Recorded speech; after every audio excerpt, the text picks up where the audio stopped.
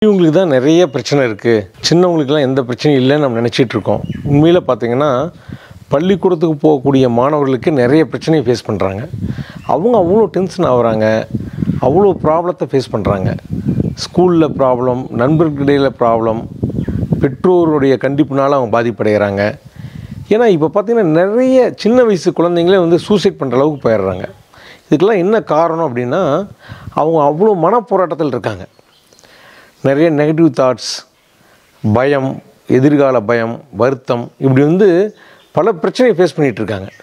So இவங்களும் விடுபடணும் அப்படிங்கிறதுக்காக நம்ம வந்து இரண்டு நாள் முகாம் ஒன்று நடத்துகிறோம் எஸ்டிடி அதாவது செல்ஃப் டெவலப்மெண்ட் அண்ட் டிசிப்ளின் அப்படின்னு சொல்லிட்டு இரண்டு நாள் முகாம் நடத்துகிறோம் இது டோட்டலாக ஃப்ரீ அவங்க எந்த ஃபீஸும் கட்ட தேவையில்லை.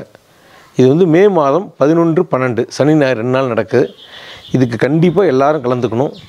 மாணவ மாணவிகள் யார் வேணால் கலந்துக்கலாம். இங்கே தங்குற வசதி இருக்குது இங்கே உணவும் நாங்கள் கொடுத்துட்றோம் அதனால் இந்த வகுப்பில் கலந்துக்கணும் விரும்புகிறவங்க கீழே கொடுக்கப்பட்டிருக்கிற எண்ணில் தொடர்பு கொண்டு நீங்கள் கண்டிப்பாக கலந்துக்கலாம்.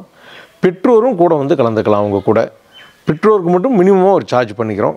மற்றபடி மாணவ மாணவிகள் அனைவருக்குமே ஃப்ரீ அது மட்டும் இல்லாமல் இந்த முகாமில் நம்மை அறிவோம் அப்படின்னு ஒரு புதிய நூல் நம்ம வெளியிடுறோம். இது வந்து மாணவ மாணவிகள் மற்றும் இளைஞர்களுக்காக ஐயா எழுதிய புதிய நூல்.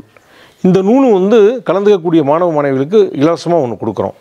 ஆனால் என- அனைவரும் கலந்து கொண்டு பயனடைய வேண்டும் என்று விரும்பி வேண்டி கேட்டுக்கொள்கிறோம்.